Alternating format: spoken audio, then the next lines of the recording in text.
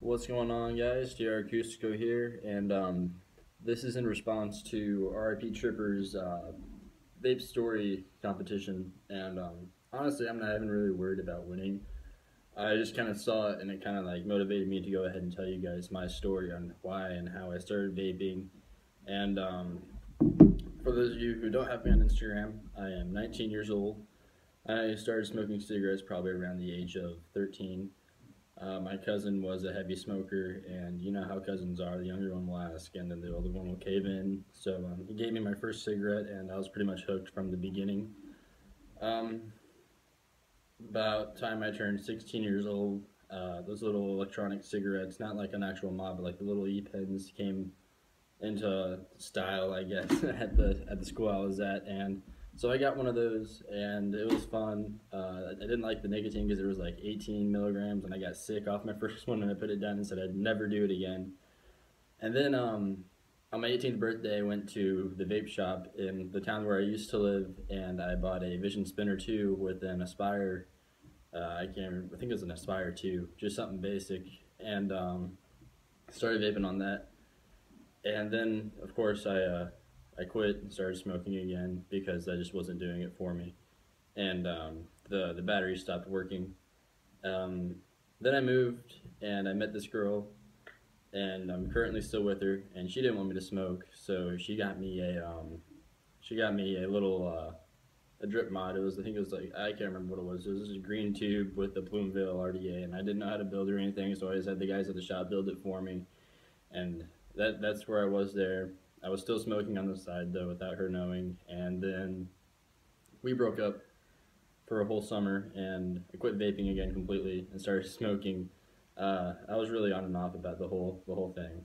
Um, then I moved back to this town after I left for that summer, and um, I was smoking like two packs a day, and me and her having a daughter together, and our daughter's due in about uh, let's see here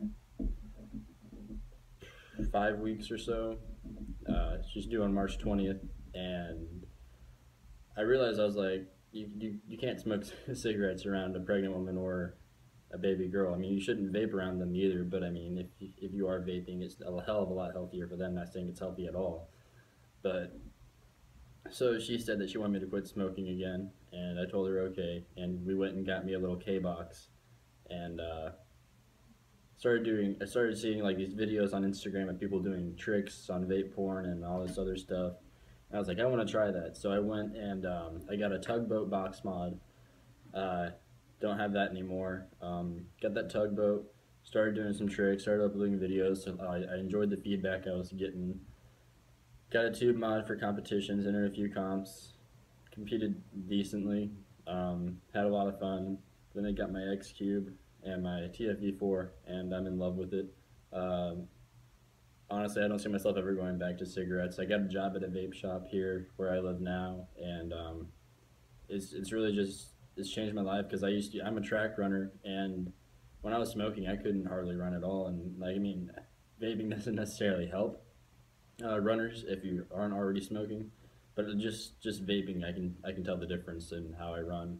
But the main reason that I started vaping again was for my daughter and for my girlfriend because I mean they, they don't need to be around that and just trying to you know not, not to save my own ass but kind of you know look out for them too. So yep, hope you guys enjoy. Um, like I said, I'm not really trying to win, just trying to bring awareness out there. So yeah, guys, uh, if you're smoking, I recommend just stop and start vaping. They have tobacco and menthol flavors out there if that's what you want. Um, I know it's not the same as a burn of a cigarette or anything like that, but at least give it a try. So, yeah, guys, see you later.